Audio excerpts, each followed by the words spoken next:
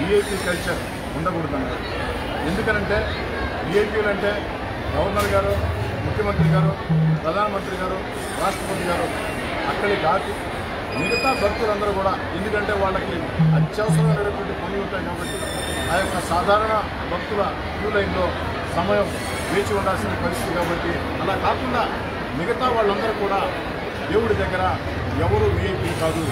దేవుడి దగ్గర అందరూ సాధారణ భక్తులే. ఈ దేవస్థానాల్లో విఐపి కల్చర్కి చర్మగీతం పడాలా అన్న ఆలోచన. గత ఆరేళ్ళుగా నెల్లూరు రూరల్ నియోజకవర్గంలో శాసనసభ్యుడిగా సాధారణ భక్తుల క్యూలైన్లో ఏదైతే ఉత్సవాలు జరిగేటప్పుడు ఉత్సవాలు జరగనప్పుడు మామూలు రోజులంటే పెద్దగా భక్తులు తాకిడి ఉండదు కాబట్టి ఏ విధంగా ఈ యొక్క రాజరాజేశ్వర వారి దేవస్థానంలో దేవస్థాన దేవాదాయ శాఖ మంత్రి తర్వాత స్థానిక ఎమ్మెల్యేగా నాకే అతిపెద్ద ప్రోటోకాల్. అలాంటి నా ప్రోటోకాల్ కూడా నాకు అవసరం లేదు. ఏదైతే సాధారణ భక్తులు క్యూ లైన్లో సర్వసాధారణ భక్తుడిగా ఆ యొక్క భక్తులతో మాట మంచి మంచి చెడ్డ అన్నీ కూడా మాట్లాడుతూ సర్వసాధారణంగా అమ్మవారిని దర్శించుకోవాలి. ఆకాంక్ష గత అనేక సంవత్సరాలుగా ఏ విధంగా దీన్ని పాటిస్తున్నామో. ఇప్పుడు కూడా దీన్ని అదే విధంగా పాటించడం జరిగింది. నిష్ఠాగరిష్టలతో అన్ని రకాల కూడా భక్తి శ్రద్ధలతో అమ్మవారిని దర్శించుకోవడం జరిగింది.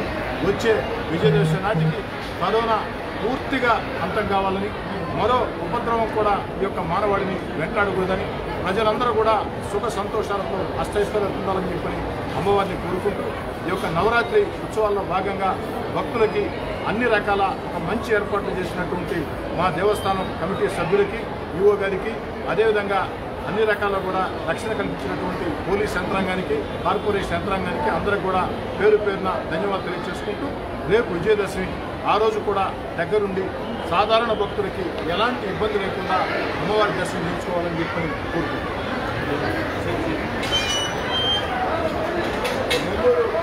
రూరల్ ప్రజలందరూ కూడా విజయదశమి శుభాకాంక్షలు తెలియజేస్తున్నారు.